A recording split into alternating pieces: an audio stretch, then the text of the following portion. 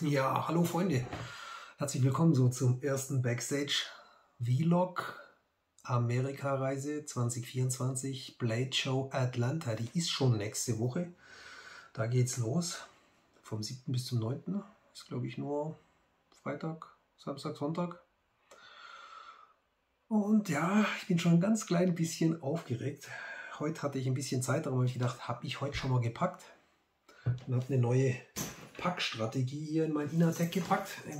Schauen wir noch schnell an, wie wenig ich diesmal dabei habe. Ich habe das Gewicht äh, um 50% reduzieren können. Ich habe das letzte Mal ein bisschen zu viel äh, dabei gehabt. Du darfst schon nur 8 Kilo Handgepäck dabei haben. Ich hatte, glaube ich, 10. Äh, diesmal bin ich unter 5 Kilo. Ja, wie habe ich das geschafft? Ganz einfach. Ich habe alles, was ich das letzte Mal dabei hatte und nicht benötigt habe, gar nicht erst mehr eingepackt. Also gar nicht mehr eingepackt. Das war nämlich die Hälfte, was ich dabei habe, hatte ich gar nicht gebraucht, also habe ich es zu Hause gelassen. Schon gar nicht in den Koffer gepackt und somit äh, ging das Gewicht jetzt, glaube ich, ich habe vor, hab vorher kurz gewogen mit äh, Rucksack 4,7 Kilo. ist nicht viel für eine Woche Amerika. Aber ey, sind wir ganz ehrlich, Atlanta ist im Süden, da ist warm, da brauchst du nicht viel. Kurze Hose, Poloshirt, fertig. Da ist einfach warm. ist ja nicht wie Schwarzwald, wo du, boah, wir waren vorher wieder spazieren, kurz, ey, kalt. Da brauchst du immer Mantel, lange Sachen, was auch immer. Ich werde ein, Hemd anziehen und eine Hose zum Fliegen, weil das ist äh, im Flieger es ist frisch und für Atlanta habe ich einfach nur ein kurzes Zeug dabei. Dann schauen wir uns noch an. Äh, ich muss noch ein EDC zusammenstellen. Das muss natürlich auch flugtauglich sein. Da habe ich mir natürlich schon so meine Gedanken gemacht. Uhr muss auch eine mit.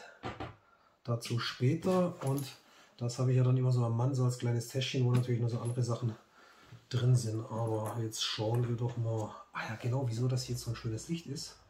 Das ist jetzt echt super. Ich muss ja jetzt nicht immer wieder Schein Scheinwerfer aufbauen. Mein Kumpel Blasius war da. Seines Zeichen BW Licht und Ton, bwlt.de. Und der gute Mann hat mir hier mal eine äh, coole Lampe installiert. Die kann ich sogar über die App auf dem Handy steuern. Programmieren, Farbtemperaturen, Leuchtstärke, ist volle Programm. Ich habe die einfach auf maximal kalt, weiß und maximale Leistung gestellt, weil dann kann ich hier auch immer mal auf die Schnelle irgendwas fotografieren und filmen und muss nicht immer Scheinwerfer aufbauen. Das hat immer total genervt und es spielt keine Rolle, ob es draußen hell oder dunkel ist, weil wenn ich zum Film komme, ist meistens sowieso dunkel. Aber genug gequatscht. Wir gucken mal schnell. Äh, Rucksack. ja, wieder der gute Innertech. Der hat mich jetzt schon auf ein paar Reisen begleitet. Innerdeutsch und Außerdeutsch. Rucksäcke nehmen sie dir eigentlich für gewöhnlich auch nicht ab, dass es irgendwie aufgeben muss. Die kann man auch noch schön komprimieren. Ne? Und diesmal ist wirklich auch nicht viel drin. Die ganzen Zusatztaschen vorne, hinten sind leer. Ich glaube, ich habe hier nur genau und Visitenkarten dabei. Das ist hier schon alles. Das habe ich da nicht mehr gebraucht. Wenn man dann so reinguckt, also wirklich Minimalgepäck. Ich habe mal so Videos gesehen von so Weltreisenden, die, machen, die haben sogar Weltreisen gemacht, nur mit Handgepäck. Die haben natürlich äh, profimäßig, kann die packen, ne? also die nutzen jeden äh, Kubikzentimeter und bleiben mit ihrem Gepäck unter 8 Kilo. Aber von denen habe ich zum Beispiel, oh, ich weiß nicht mehr, wie der Kanal hieß, aber von denen bin ich dann auch auf diese flugreisetauglichen großen Rucksäcke von Inatec aufmerksam geworden. Ne? Aber hier einfach komplett alles minimalistisch. Ne? Stapel Boxershorts, das ist mein komplettes Hygienebag. Ich spekuliere drauf, dass es äh, in dem guten Hotel, wo wir sind, äh, Duschgel und das ganze andere Zeug gibt, weil das packe ich nicht ein. Ne? Hier wird dann am Gewicht gespart. Ich habe nur wirklich das Zeug zum Rasieren dabei. Schöner Duft. Ja, zum Zähneputzen mehr eigentlich nicht. Meine Creme, meine Gesichtscreme, ja. Man muss was dafür tun, ne? dass man mit 50 noch gut aussieht. Kleines Erste-Hilfe-Set ist hier drin. Dazu den Amerika-Stecker, sowas brauchst du natürlich da drüben. Hier mit so anderen Anschlüssen wie bei uns. Und auf der Seite kann ich eben eine USB laden. Das ist habe ich dabei. Dann nochmal ein USB-C-Kabel zur Sicherheit. Ein zweites. Dann, ich spekuliere, spekuliere natürlich wieder auf den Pool. Badeschlappen, den Luxus gönne ich mir. Also das habe ich wirklich immer dabei. Egal wohin ich fahre, habe ich immer dabei Badeschlappen und meine Badehose.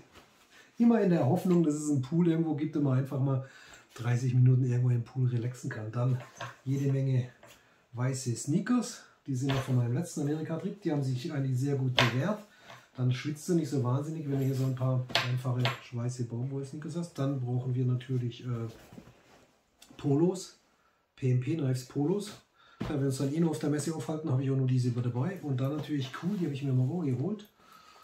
Super, also das sind wirklich ohne Scheiß die besten kurzen Hosen, die ich in meinem Leben hatte. Die sind voll elastisch, super bequem, egal ob du beim Laufen bist oder wenn du den ganzen Tag rumsitzen musst. Haben extrem viel Taschen, alle mit Reißverschluss, sogar so wasserdichte Reißverschlüsse.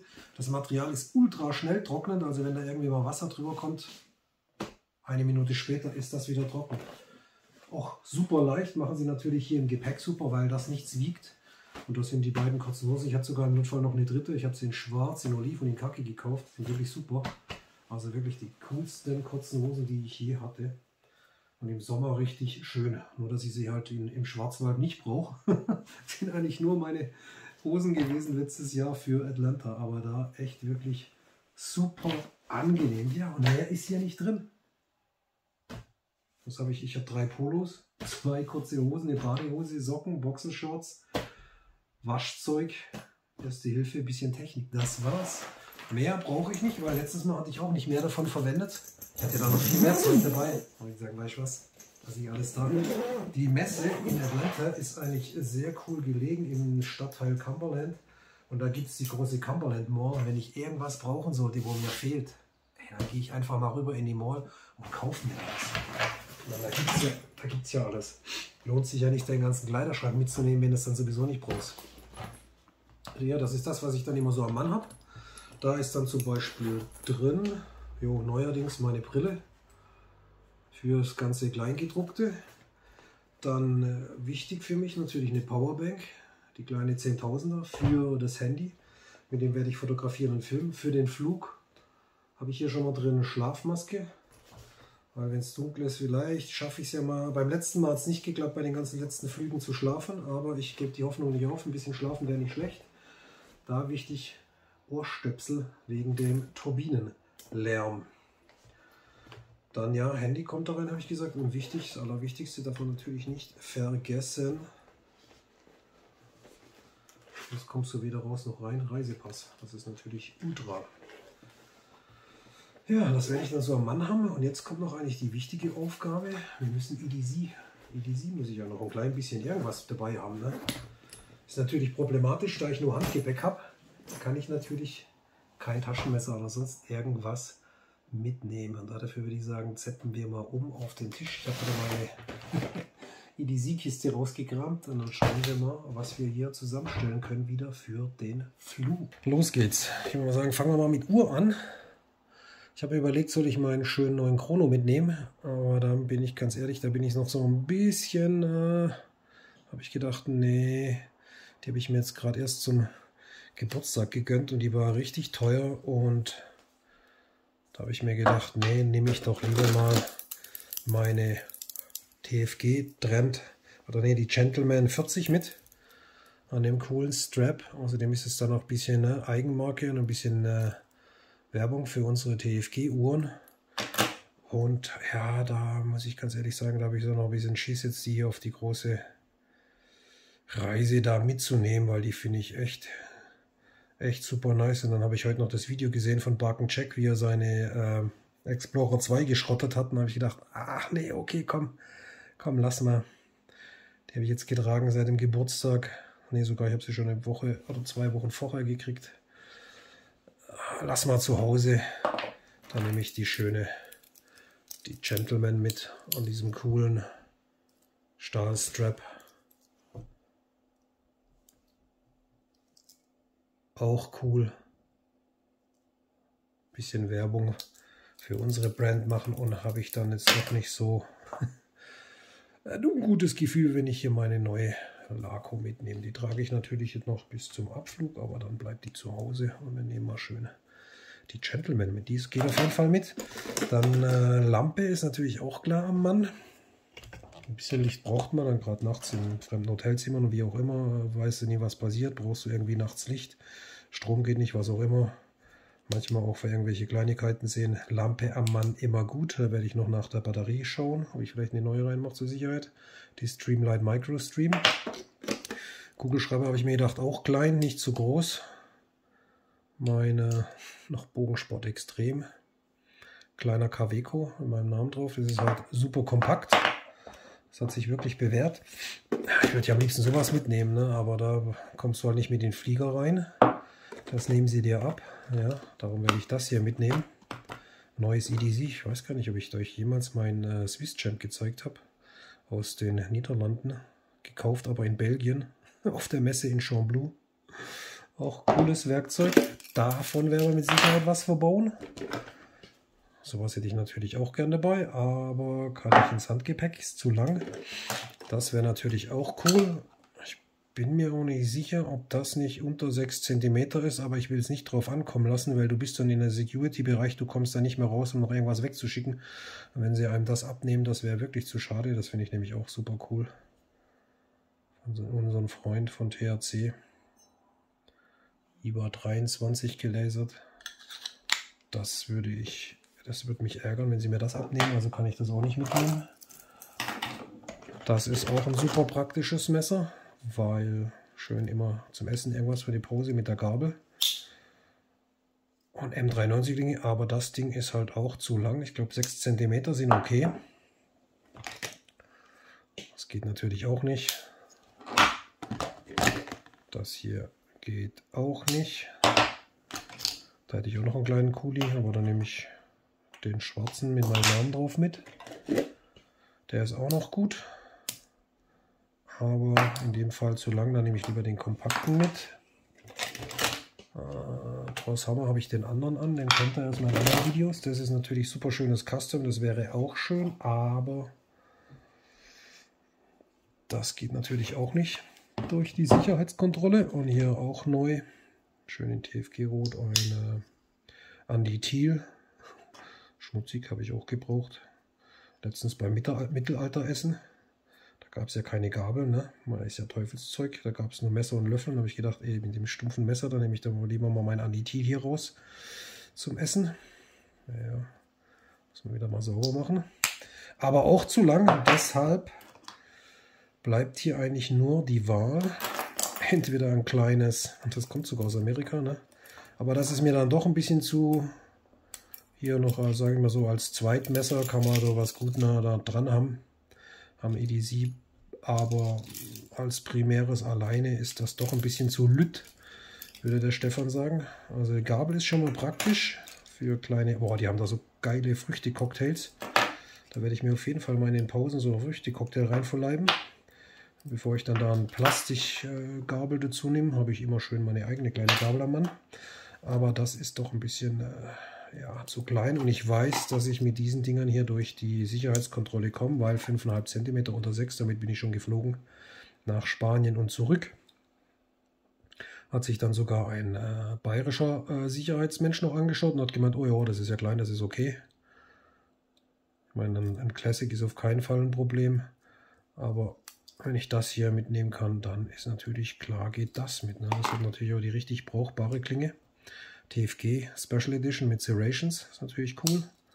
Dann, wenn er mal was anderes schnibbeln muss, kleine Schere. Und hier natürlich auch mal irgendwie Schraubendreher dran oder einen Dosenöffner, Flaschenöffner, was auch immer. Hat man doch so wenigstens ein bisschen, bisschen Multitool dabei. Ich habe extra den Karton aufbehalten wegen der Spezifikation. Kommst du? 130 R4 RDS. Das hätten wir schon mal. Das haben wir auch, das kommt weg. Leider kann ich die Messer nicht mitnehmen. Die kleine Gabel ist natürlich cool. Ist die Frage, brauche ich eine zweite Taschenlampe am EDC? Nagelklipser, den mache ich äh, am besten gleich noch, das ist von Wick, ne? Den mache ich mir gleich ins noch in das äh, Hygiene, in, das, in das ja, WC-Bag rein. Ja, brauchen wir das Hide and Seek hier? Ne, eigentlich nicht. Das lasse ich zu Hause. Das war Souvenir aus Amerika von Smoky Mountain Knife Works. Hide and Seek World Champion. Ne? Der Bigfoot. Kann sich am besten verstecken. Keiner hat ihn bisher gefunden. So gut kann er sich verstecken. Darum wird das hier wahrscheinlich dann mein EDC. Ne? Lampe, Stift, Dingens hier. EDC. Können wir eigentlich wieder an dieses Teil hier dran machen, oder? Na, das werde ich doch irgendwie am Mann lassen. Und schmeiße ich die beiden Sachen irgendwie noch so mit in den Rucksack rein. Ne? Kleine Lampe noch, brauche ich noch eine zweite kleine Lampe. Ja, Reserve ist vielleicht nicht schlecht, oder? Schlüsselbund. Ah, kann ja vielleicht nichts schaden. Ja, auf das wird es dann hinauslaufen, ne, Freunde. Mehr geht nicht in Flieger, nur mit Handgepäck. Aber damit sind wir auch das letzte Mal schon gut rumgekommen. Mit nur kleinem EDC. Tagsüber haben wir ja genug Messer am Mann. auf der Messe. Bei Midgards am Stand und mit PMP-Knives. Aber sonst halt im Flieger geht nicht mehr. Jo, gut. Ja, dann würde ich mal sagen, packe ich meine kleinen Mini-Utensilien auch noch mit ein. Und dann sehen wir uns nächste Woche schön immer wieder abends zu einem der Daily Vlogs von unserem Atlanta-Trip, Blade Show. Ah, was auch gut ist, diesmal, wir fliegen nicht mit Zwischenstopps von äh, Zürich, Chicago, Atlanta, sondern wir haben Direktflüge gebucht, Frankfurt, Atlanta. Wir müssen als jetzt nur nach Frankfurt hochfahren, das machen wir am Abend davor. Aber Direktflüge sind natürlich schon eine feine Sache, wenn man sich die Umsteigerei hier in Chicago spart. Und wir haben eine neue Sitzklasse bekommen. Normal Economy, das ist einfach zu klein für uns große und schwere Leute. Darum haben wir, da gibt es jetzt so Economy Premium oder sowas. Da hast du mehr Beinfreiheit. Das ist schon mal viel wert. Und da hoffen wir dann, dass der Flug angenehm wird. Ich glaube, hin 10 Stunden zurück 9. Aber Direktflug ist natürlich geil. Ja, da werde ich auf jeden Fall natürlich berichten. Handy geht mit, das ist dann meine einzige Kamera dabei. Und ja, dann werden wir abends was zusammenschneiden, hochladen. Haben wir extra wieder eine SIM-Karte für die USA geholt. Mit 50 GB Volumen, das reicht hoffentlich für die Tage. Und ja, ich freue mich jetzt langsam schon drauf. So langsam kommt ein bisschen äh, Nervosität auf. Aber ist wahrscheinlich eher die Vorfreude. Ja, dann sehen wir uns dann im nächsten Vlog dann Backstage wahrscheinlich irgendwie so auf dem Weg nach Frankfurt oder in Frankfurt, ne? Äh, Wenn es dann losgeht. Also Freunde, wie die Mann, was kann dann schon schief gehen? Wir sehen uns, macht's gut, bye bye.